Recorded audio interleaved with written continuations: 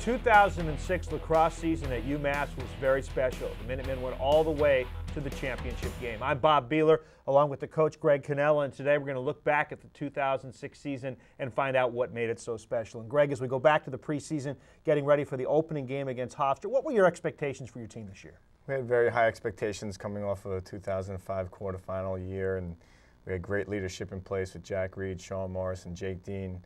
Uh, we're looking to fill some holes in the goal and the face-offs and, uh, and on attack. So, uh, but we've had very high expectations. We're looking forward to the season. Did you think you could make it all the way to the Final Four in the championship game? Uh, uh, in February, no. Uh, later on in the year, we certainly felt we had an opportunity. What were the things, Greg, that came together for this team? As we're going to be taking a look at the highlights as the season builds.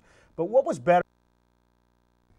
Well, I think from the, from the first day, you know, our goaltending was better. Uh, you know, Doc Schneider played great. Uh, we, Jake Dean was superb on the faceoffs, and Jimmy Connolly on attack really stepped in and filled the void of Jeff Sawicki. And how about the support of the people? Because it seemed like as the season built, the team built, the support and the crowd built with a great turnout all the way down to Philadelphia for the championship game. Fantastic support, uh, always parents, friends. Uh, you know, a lot of the students here came down to the Final Four as well as the games here on campus. So uh, and we really enjoyed that. And certainly at the Final Four, we really felt the energy of the fans. Was there a game in particular that was a favorite of yours as we're going to be looking at the highlights of the game? Was there one or two that maybe stick out in your mind as your favorite games? Well, I think the first Hofstra, the game, the first game of the year against Hofstra was a super game, a great win for us uh, to catapult us into the year. And if you look back into the Fairfield win, uh, we came back from you know two goals down with less than a minute and scored three to win the game in regulation. So I think those two things, uh, those two games, are really ones that uh, kind of pushed us forward during the year. I was at the Fairfield game. I don't think you could uh, script that one. That to me is one of the more improbable game in any sport that I've seen. Never, never been involved in uh, that side of uh, the, you know uh, of it. have lost a game like that, but never won a game like that. It was really special. Well, there were so many special moments in the season. Let's take a look at the highlights right now of the 2006 Minutemen.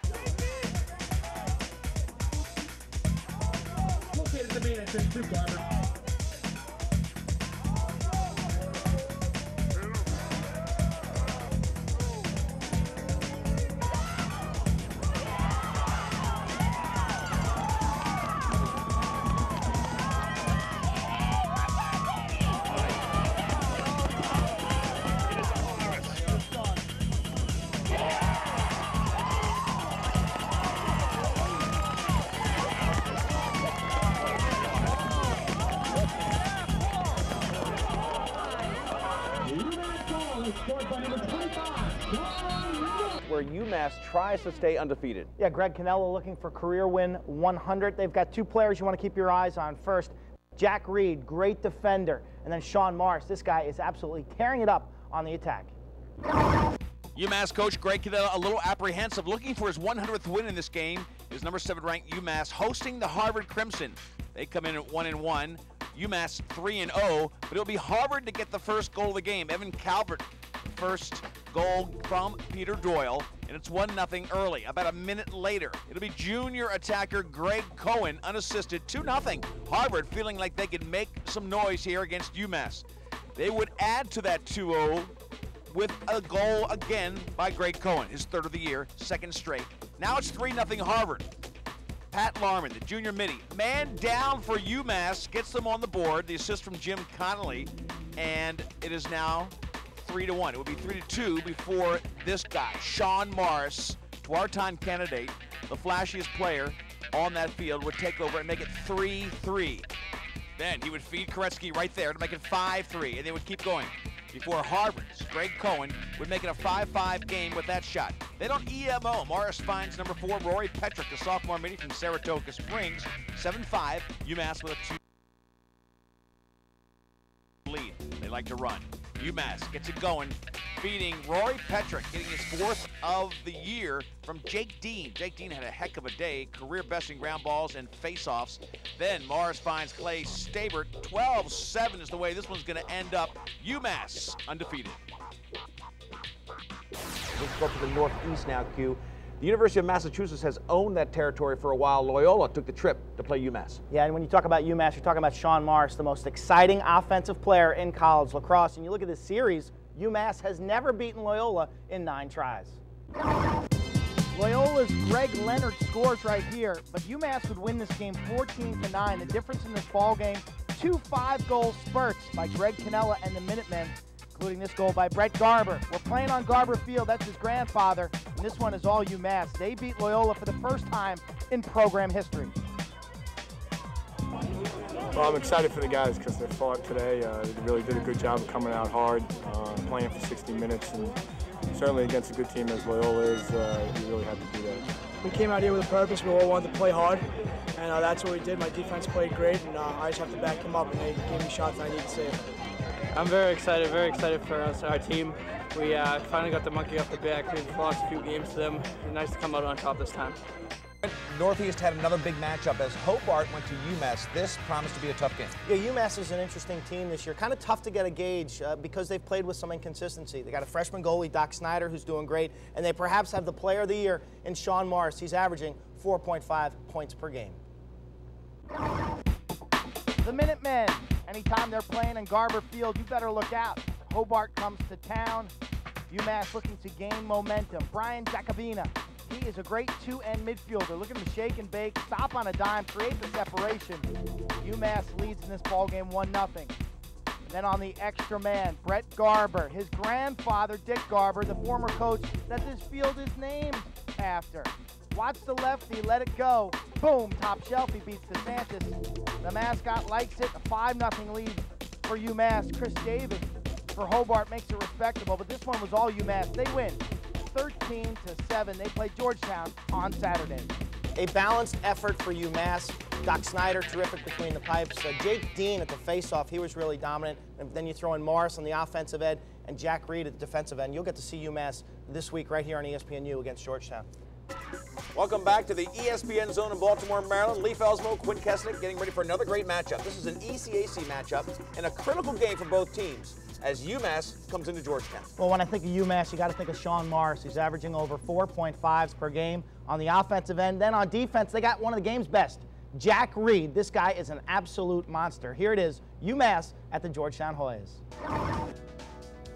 Buckle your chin strap. Georgetown in a nasty mood after losing to Loyola. We face off. It's UMass in Washington, D.C., battling Dave Urick and the Hoyas. Georgetown gets in business first on the extra man. Great passing. Chase Kahan, 1 0. They led early. Greg Cannella doesn't like what he's seeing. And then Peter Cannon drops it, picks it up, and without looking, beats Doc Schneider. 2 0 Georgetown, first quarter. Cannon never lost his cool, knew where the goal was every step of the way. Jack Reed, he's a monster, he's a beast, he's the best defender I've seen all season. The freshman, Jake Samperton, from Landon. 3 0, the Hoyas. And then UMass gets into business. How about that move by Fred Federico? Great pass down low to Clay Stabert. 3 to 1, second quarter. Sean Morrison finds Brett Garber down low. 3 to 2, UMass back in business. You can see a little hop in their step. Garrett Wilson, 34 seconds later, gives that Hoyas the two point spread. It's 4 to 2. Rich DeAndrea was outstanding, finished with 15 saves, including six in the second quarter. Physical contest, nice ball movement. Peter Cannon, the Rocket, five to two. And then Christian Truns would win the faceoff, makes it six to two before halftime. Hoyas milked that lead in the second half. But here comes UMass behind potential player of the year, Sean Morris. He's averaging four and a half points per game. There he is with the left-handed shot. UMass extra man to Pat Larman down low. Beats DeAndrea from close range. 6 to 4, third quarter, Georgetown leading. Watch this move by Brendan Cannon after the penalty had expired. 7 to 4, Hoyas lead. Their defense did the rest. Very tough on the inside when they were covering anybody but that man right there, Sean Morris. Isolating Beatren Garnett, beats Rich DeAndrea. 7 5. This makes it 7 to 6 in the third quarter. Sean Morris single-handedly bringing UMass back in this game. Their defense tightened up. Watch the check. Jack Reed should be a first-team All-American. Should be invited to the Tewaaraton banquet. But Rich DeAndrea, seven fourth-quarter saves. The Hoyas hold on. They get an insurance goal right here. Brendan Cannon with the pickup to Trevor Casey Dave Poliso does the dirty work. And there it is, Georgetown. They win 8 to 6. Their goalie, Rich DeAndrea, one of the great stories this week. He was a backup all season long. Former starter. They moved him to long stick midfield, but Miles Cass has been injured, and DeAndrea was superb. 15 saves. Georgetown wins. UMass's miracle comeback of the season came against Fairfield on April 25th. Number seven Minutemen trailed the Stags all game until Brian Jacobina scored that goal right there to make it 6-5 with 103 left, beginning a miracle run of three goals in a 29-second span.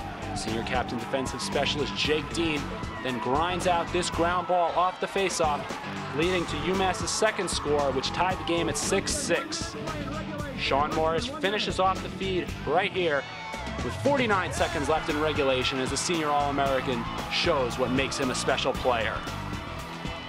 The ensuing faceoff, once again, it was Jake Dean, the big story as the fans go wild there at Garber Field. Here's Dean on what will be the winning faceoff for UMass. Dean scraps the ball loose. All-American Jack Reed picks it up, brings the ball down for the Minutemen. After a loose ball, it's picked up.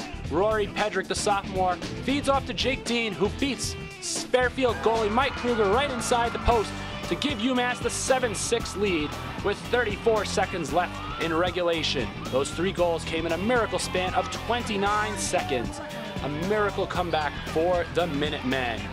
UMass fended off Fairfield in the final seconds as the Stags had one final chance to tie the game after they had led for most of the 58 minutes at Garber Field on a midweek game. As UMass's defense talks about the way to stop Fairfield and their top scorer, Greg Downing, who was shut out in this game by Jack Reed. UMass was able to come away with the big victory as the Minutemen improved to 9 and 3 on the season, 4 and 2 in the ECAC with this huge clash. Fairfield was set up for one final shot, and it's ripped forward. And Doc Schneider, the freshman sensation, makes the save and lofts the ball in the air as UMass can celebrate its 7-6 victory, one of the most improbable comebacks of the season. Just this past weekend, and this team is on a roll. Five straight the Orange have won. They're playing great offense. Their defense has surrendered 36 goals in their last three games. Let's see if they can buckle down against the Minutemen. Home as Syracuse says, and the Orange would get off to a quick start. Nice job by Patrick Parrott to give them a 1 0 lead. This team didn't win in March, but they're winning a lot since then. And then Mike Leveille gets it from Brett Buck. Could have been an easy day for the Orange, but that was not going to be the case. Four straight goals from Mass, starting with Clay Stabert from Roy Pedrick. Now it's 2 to 1. And then look at this, right down the middle from Fred, Fred Federico and the coaching staff from Syracuse just couldn't believe it. Unbelievable! But Mass would continue. Sean Morris, the All-American, will get the ball back after giving it up, and he'll make a nice fake and hung up around the neck and still score left-handed.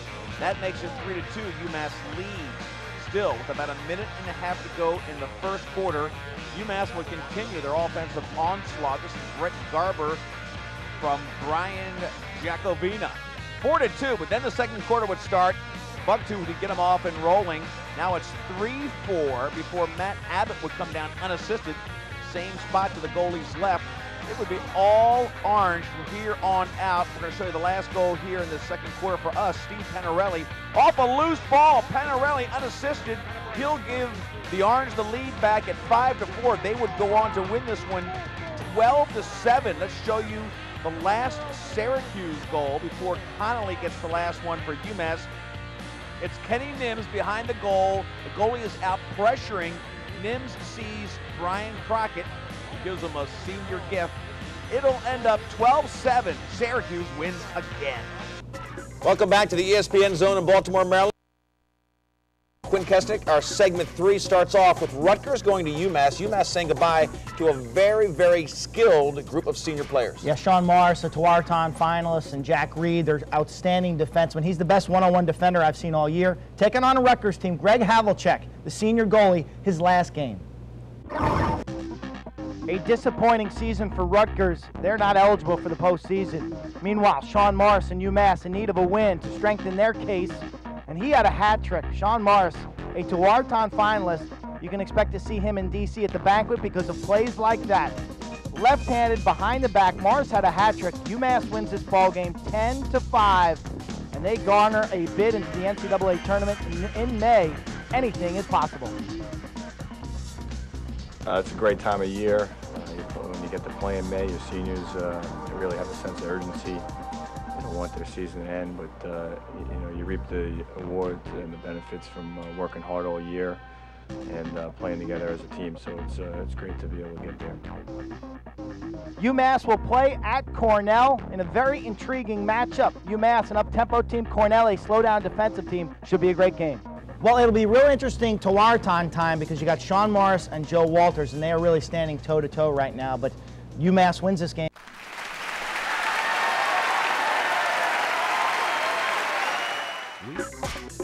Welcome back to the ESPN Zone in Baltimore. Leif Elsmo and Quint Kessenich, Toyota Lacrosse Weekly Show, and the playoffs are underway. Key now we go to Cornell, number six seeded team in men's Division One. UMass comes in with a great season under their belt, and this was maybe the best game of the opening round. Yeah, I think when I look at UMass, I see Greg Cannella as the coach, but anytime they got 10 guys out there, they're going to have the two best players on the field, Jack Reed on defense and Sean Morris on offense, and that's why UMass is so dangerous. Champions of the Ivy League from Central New York, Cornell taking on UMass. David Mitchell, the lefty from Canada. Nice little outside left-handed shot right there. Big Red up 1 nothing. And then Mitchell, similar move, kicks it to Joe Boulukos and the big senior.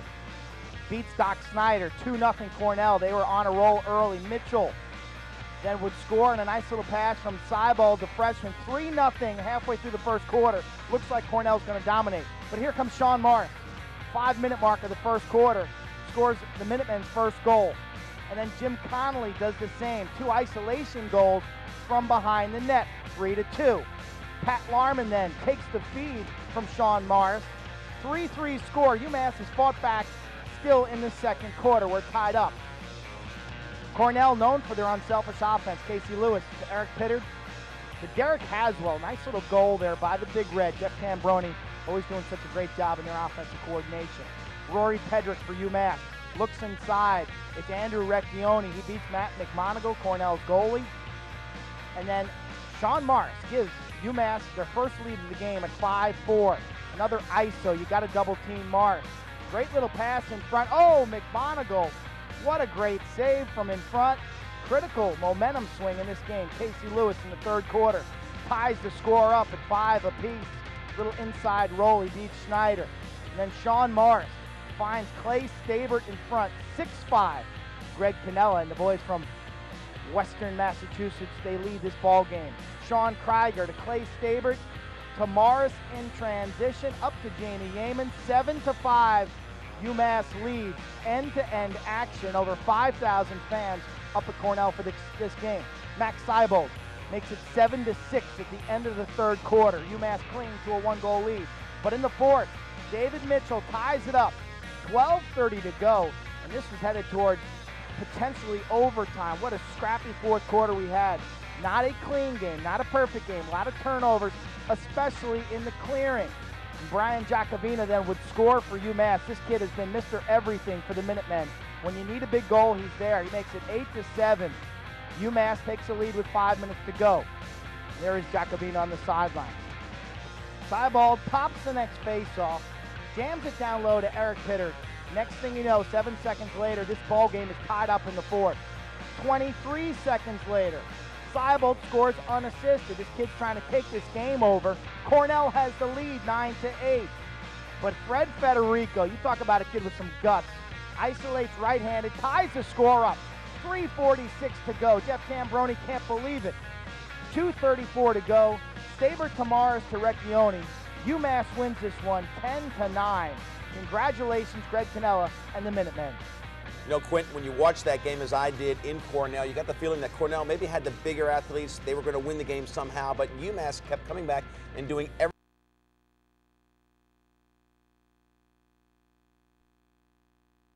To do to keep the lead. Yeah, that's a team with a lot of guts, a lot of heart, and I give him credit. You know, anytime you got Sean Morris on offense, you're in the game, and what he did in that middle third of the game, when he had two goals and three assists during their run, uh, was spectacular. And then, of course, the freshman goalie, Doc Schneider, came up huge when he had to.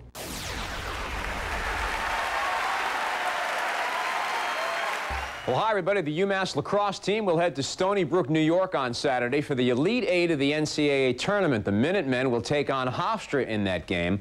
And as Dave Guthrow tells us tonight, the stakes have never been higher for the men's lacrosse program. The last five years have been a golden age for the UMass lacrosse program. Trips to the Elite Eight of the NCAA tournament, including a trip to this year's national quarterfinals on Saturday. Really hard work is, is what it is, and guys that are willing to work hard and be unselfish, uh, put aside any personal accolades for the betterment of the team. Hard work. These uh, these programs over the last five years have all worked really hard. Uh, the guys before us really put a pedigree down of you know working hard day in and day out all year, and you know you reap rewards for the work and effort you put in. And uh, we've tried to follow that along as uh, senior class this year, and uh, so far it's worked out well for us. Saturday's opponent is a familiar one for UMass. The bad news is that Hofstra is ranked second in the country and have only lost once this year. The good news is that their one loss was to UMass in February. And the Minutemen have beaten Hofstra the last five times the teams have played. We were fortunate to beat them uh, early in the season, but you know they went on to win 17 straight. So it's definitely going to be a totally different team. Uh, we're a little familiar with the personnel, which I think is going to help, and uh, I think we got a good game plan in place. We tried to focus this week on playing the game itself, and then not beyond it, and not what happened last week. So uh, we're concentrating on Hofstra right now, and you know a win would be great over you know uh, the number two team in the country. UMass and Hofstra have played each other five times in the past four years, but no game has been bigger than Saturday's. A Minutemen win would send the UMass program to a place it's never been in the 52-year history of the program. That place, the Final Four. It'd be huge. Uh, something that, you know, every lacrosse player I think dreams of that's been to the Final Four, and it's something that I've always wanted to do, and that's why I came to UMass. I've had two chances, you know, previously in my career, and uh, this is my last shot, and uh, it's everything I've worked for. All the time I've spent in the gym and on the field and with my teammates, uh, this is what we've worked for, and to finally get it would be a goal. Just realized one of those big, you know, big events in your life. Reporting at UMass, I'm Dave Guthrow, ABC 40 Sports. Now let's move on to the second game in Stony Brook. UMass taking on Hofstra. Hofstra's only lost this year to the UMass Minutemen. Yeah, back in February, a cold, chilly day at Garber Field. This scenario, this game is wide open. It's UMass and Hofstra, two teams who have never been to the national semifinals. The magical season for Hofstra. Quarterfinals, they've never been to the NCAA Final Four. Jim Trubig, 1 0. Flying Dutchman, now known as the Pride. 12.53 to go in the first. Chris Unterstein, what a great player. He's a Tewaaraton finalist. You see him isolating against Jack Reed. Rory Pedrick, shot goes wide to Clay Stabert. Tamaris back to Stabert. Nice little give and go. UMass in business, they trail 3 to 1. And then Jim Connolly, three seconds to go in the first quarter. Watch the goalie, Matt Southard. You can't do that. He's caught out of the net. Three to two at the end of the first quarter. A tactical error has Greg Cannella smiling on the Minuteman sideline. Second quarter, Chris Unterstein takes the feed in transition. They don't pick him up, and he scores 17 seconds into that second stanza. And then Unterstein does it again, 5-2, but he suffered a concussion on this play. His head hit the turf, and he was not the same. Trubig gives Hofstra a 7-4 lead at halftime. Watch Jack Reed, though. Doc Schneider should have made that save, and you watch Reed support his goalie. Third quarter, Jim Connolly beats Matt Southard. The goalie comes off the pipe and pays for it, 7-5. Then on the extra man, Hofstra outside shot. The rebound, that's the freshman Tom Dooley. 8-5, the men in yellow lead by three. Unterstein back from injury makes it 9-5. 6.48 to go in the third. This is the save of the week. One of the best you'll see all time. Doc Schneider, can you believe it? Diving stop. What a play. Hofstra then with a 10 5 lead with nine minutes to go. But here comes UMass. Jamie Yeaman, Clay Stabert, 10 6. It's a four goal lead. And then Morris scores, makes it 10 7. Hofstra clinging to a three goal lead with 7.27 to go. Jim Connolly, 10 8. Six minutes and 29 seconds to go. Is there enough time for UMass to make the comeback?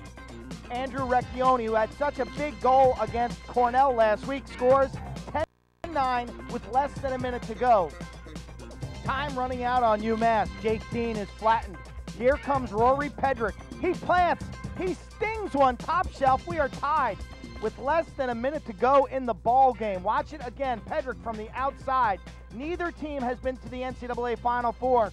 The season at stake. Here's Dave Ryan. Garber feet in front. Connolly scores!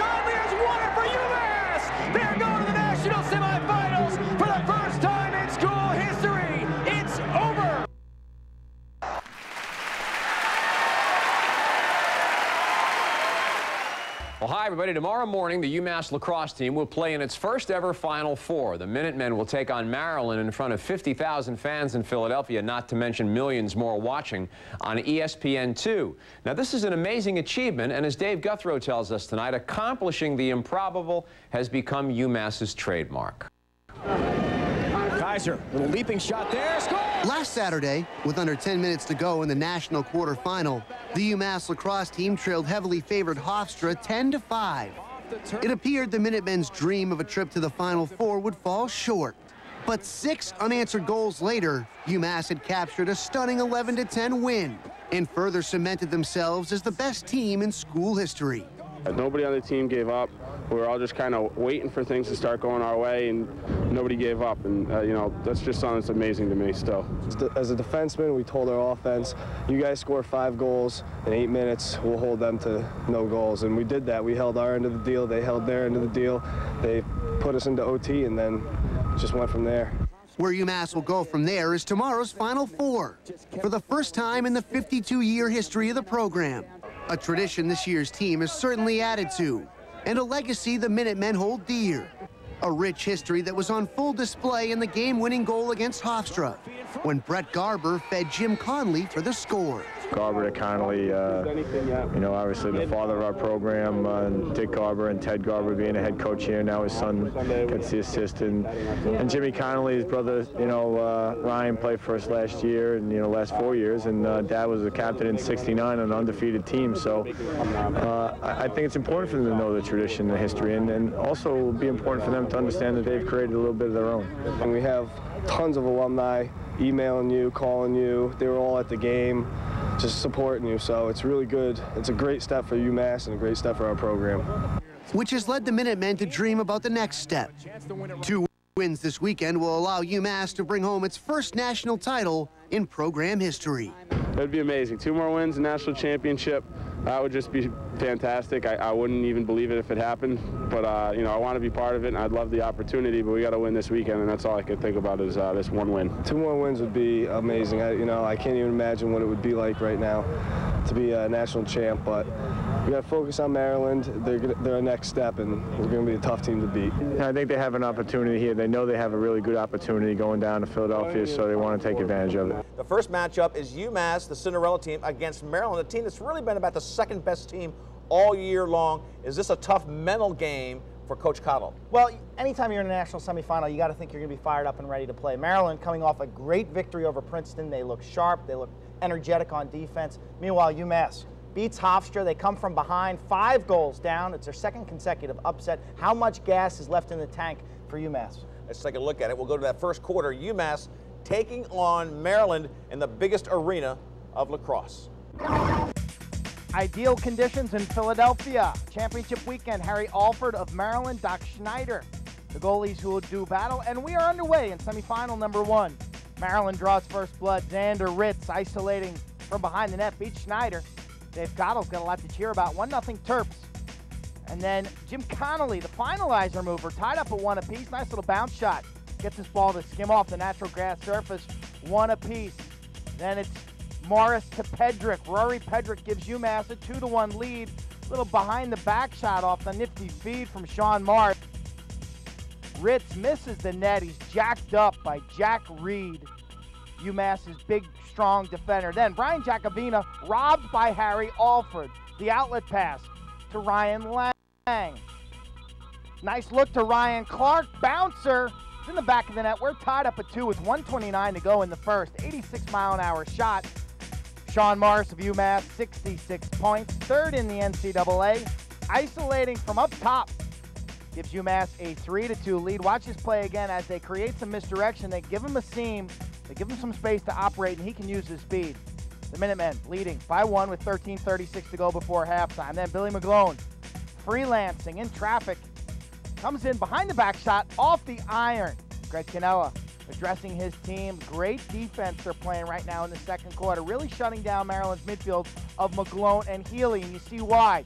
Healy with the outside shot on the run, he's taken down hard. Dave Cottle trying to get some offense going for Maryland. Sean Morris off a big upset performance against Hofstra and Cornell. Maryland fans waiting for their team to wake up. Third quarter action. Morris, stop and go quickness. Look at him create the separation. He beats Alford down low. UMass a two-goal lead. It's four to two. Their fans came in from Amherst, from New York, from Long Island, from all across the eastern seaboard, and they were excited. Reverse angle shows Morris just too quick to be covered. Here he is again, spinning this time. Watch the defense. He draws four Terrapin defenders. Jacobina gets hit by the shot, picks it up and puts it by Harry Alford. The Minutemen up by three. Watch the replay again. The shot will be blocked by Jacobina himself, but all the Maryland players were upfield trying to cover Sean Morris. UMass up by three. Next face-off. Jake Dean, the senior, pops it clean. 10 seconds later, he gets another rebound in front. UMass up by four. A huge play in this ball game. Dean wins the draw and scores himself. The Minutemen now up by four and playing terrific defense. Can you UMass pull the upset? They're up by four as we go to the fourth quarter. Terps wake from their slumber early fourth quarter. Mike Phipps overplayed by Reed. The over the head check and Phipps multiple fakes. Pucks that one in the corner. Six to three. Terps down by three. Then they cut it to a two goal game. It's Max Ritz again, inverting from, from behind the goal. Nice little move. He's checked, but the shot goes by Doc Schneider. We've got a new ball game, fourth quarter, 6 4. Then in transition, Jake Dean ahead to Clay Stabert. They've got a three on two. Down low to Jim Connolly. He beats Alford to the near side. Watch his shot again. Not much goal to shoot at, but Connolly, the freshman, so impactful in the Hofstra game. Terps pull within two. Dan Groot makes it 7 to 5. The assist from Max Ritz. 10 10 to go in this ball game. Key play right here. Sean Morris. Three goal lead for Massachusetts with 6.33 to go. Morris showcasing his speed, his explosiveness, and his finishing ability. He finished with a hat trick and one assist. Sean Morris shows why he is a Tewaaraton finalist. Greg Cannella then trying to hold off Maryland, and he does. UMass, they're in the national title game for the first time in school history. They win 8 to 5. We had a great plan uh, defensively. Jason Miller did a great job with our guys all week. They executed the plan. We kind of kept Maryland off balance. I felt they really went to the invert in the second half. Uh, this is a great performance by our guys. You got to give them all the credit. Well, congratulations to UMass. Their first ever semifinal appearance. They parlayed it into a game on Monday in the national championship game. Sean Morris, three goals, one assist. Doc Schneider, 15 saves, and Greg Cannella, a defensive gem. You know, one guy I want to talk about is number 44, Van Voigt, who was off the team with an injury for four games. He comes back, and really part of the big story here was 44 and 42 as they bounced up and shut down McGlone and Healy. Yeah, all season long, Maryland's been seeing the Poles cover their midfield unit. Uh, this time it works. Last week, Van Voigt uh, shut down uh, Ethan Iannucci of Hofstra, basically shut him off, uh, he and Krieger. This week they say, hey, you got to go up top and cover one of those middies. So showing their versatility was so key.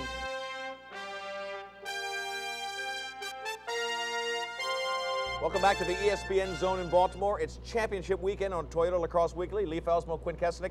We're moving into the Monday final at the Lincoln, Philadelphia. It's UMass, the Cinderella story, the feel-good story of the year in Division One lacrosse against Virginia, the undefeated offensive powerhouse. A couple things to keep your eye on in terms of storyline. Sean Morris for UMass, how impactful can he be? Virginia, team speed, passing, and shooting, they've been unstoppable. Can UMass shut down the Cavaliers? The Lincoln, Philadelphia, 47,000 fans, a championship day record. Memorial Day, a gorgeous hot Monday. Virginia strikes first. Kyle Dixon, great feed to Matt Poskay, 1 0. Virginia, Poskay, and Dixon both seniors. And then here comes Clay Stabert. Great inside roll against Foster Gilbert. Look at the little head and shoulder fake right there. We're tied at one apiece. But Poskay from Danny Glading makes it 2 to 1. Cavaliers, they're known for their first quarter outburst. Jack Reed, big hit on Matt Ward. Then in transition, Smith to Rubeor to Glading. Virginia runs with the best of them. Matt Ward makes it 4 to 1 at the end of the first quarter. The Cavaliers in control. UMass being outshot 19 to 7. Kip Turner doing such a fine job robbing Jim Connolly. But in the second quarter, the Minutemen would win four or five faceoffs, and then Sean Morris would get things going. Nifty little pass in front, Rory Pedrick. Ball's in the back of the net, 4-2. Cavs lead by one, early stages second quarter. Then Jake Dean, 10 seconds later, wins the draw, carries in. He scored in the semifinals, and he also has a goal in the national championship game. The senior from Annapolis makes it a 4 to 3 ball game. Matt Ward then left-handed, unassisted, takes Jack Reed to the rack. Virginia fans can celebrate. They're up 5 to 3. And then Jim Connolly from Jamie Yeaman, 5-4 at the break. 37,000 fans, and about 90% of them are rooting for UMass, and you can see them feed off of that emotion. How about that goal by Jake Dean off the faceoff, 10 seconds after Pedrick had scored? We've got ourselves a ball game. Quite the momentum shift for me was in the first part of that quarter when the lead was there for Virginia. They had their first possession, a seven-shot possession where they didn't get a goal. Then it went to the other end, two quick goals for UMass, and they're back in. Yeah, but still a time bomb because Virginia taking tons of shots. Matt Ward, their best player, has 11 shots already. He's got two goals, but if he continues to get those kind of shots, it's, it's going to be lights out for UMass. Let's go to quarter number three after the halftime speeches from each coach and see how these teams do in the 100 degree heat. After halftime, Virginia out shooting UMass 29 to 18, but Brett Garber, the grandson of the great Dick Garber, former head coach at UMass from 1955 to 1990 makes it a tie ball game, 5-5. But here comes Matt Ward. He would finish with five goals, that assist from Thompson, and then fellow senior Kyle Dixon gets on the board. But Yeaman from Morris, seven to six midway through the third quarter. Still anybody's ball game. UMass showing so much heart, so much tenacity. Watch the replay of that. Morris draws the double team. Yeaman with a terrific cut. But Virginia would score eight of the next nine goals. Matt Poskay on the extra man with the hat trick. Kyle Dixon, 9-6, unassisted. Then Poskay from Rubeor. Poskay's fourth goal of the game, 10-6, late third quarter. And then in transition, Ricky Smith to Matt Ward, his fourth, 11-6, fourth quarter. Thompson inside, more Poskay, 12-6. Poskay's got five. And then Ward says, hey, I want five myself. He takes that Thompson feed, 13 to 6. The route was on. Ben Rubeor finished with the last two goals for Virginia. They win the national title. Lights Quint and give credit where credit's due for that UMass Cinderella team. Doc Schneider had a heck of a game. Yeah, series. Uh, uh, just an amazing performance. 17 saves in the finals, uh, some low saves, some pick saves, some great jobs on some angle shots. he was energetic. Bright, bright future. Give a lot of credit to their coaching staff. Jake Kuhn, their assistant uh, coach, specializing in goalies, and Schneider, best goal at UMass since Casio. What a great season for the Minutemen in 2006, going all the way to the championship game. And Greg, those highlights were so fun to relive again. You had so many guys contribute, and I think that was one of the things that made this team special. It wasn't just one or two players; it was a team effort. Most definitely, a team effort all the way through. Uh, great uh, leadership in every class, you know, from freshman, sophomore, junior, and senior classes.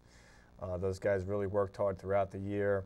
They, they earned what they got, you know, in, the end, and uh, you know I'm really proud of the, the, entire team this year. What was the experience like at the Final Four, playing before nearly 50,000 people, national television? Uh, did it feel different than playing a regular game? Uh, certainly it did. Of course it did. Uh, but I, I, think our guys did a great job, and in particular our captains did a great job of keeping our guys composed and relaxed uh, to, be able to play at a high level. Uh, when you get on that stage, sometimes people play a little bit differently. We played the way that we prepared for that week. Why was this team such a good come from behind team? I mean, it almost seemed like, you know, somebody gets ahead by a couple goals, and I'm like, hey, that's exactly where UMass wants them. They're going to come from behind and win this game. You had a bunch of guys that uh, really had a lot of heart. Um, you know, it was a never, you know, never give up attitude. Um, you know, Jake Dean epitomized that throughout the year, and guys like Jack Reed, Brian Jacobina, you know, those people really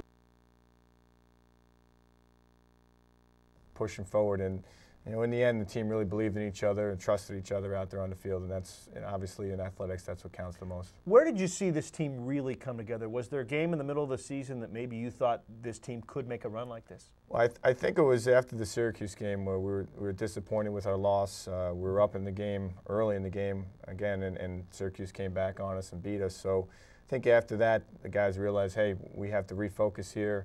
Uh, we're going to go beat Rutgers and then uh, hopefully get into the tournament. I think that was it. And then you got into the tournament and you had to do it on the road. You got assigned to go to Cornell. And then basically you had to play a road game against Hofstra too to get to the Final Four. Yeah, you know, two really tough games for us. Uh, you know, Cornell was two or three during the year, as was Hofstra. Uh, again, you know, going up to Cornell, a lot of character for our guys to go up there and, and, and play well. And then going down to Long Island, we have some Long Island guys, uh, you know, in the program, but uh, Hofstra had a big following there as well as we did. Uh, but another tough game, as you mentioned. When you look back on the 2006 season, what are you going to remember the most? I remember the guys, uh, you know, the effort that they put forth throughout the year. You know, this is a process. It, it, begins, you know, in September and it goes all the way through May. And, and that process was really enjoyable for me and hopefully it was for the guys. Finally, the senior class. Uh, you can, I don't think you can get to this level without having an outstanding senior class. Tell us a little bit about your thoughts of them.